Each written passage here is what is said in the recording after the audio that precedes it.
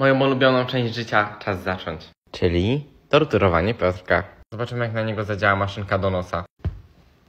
No boję się. Mówiłem, że tortury są fajne? Nie, ja sam.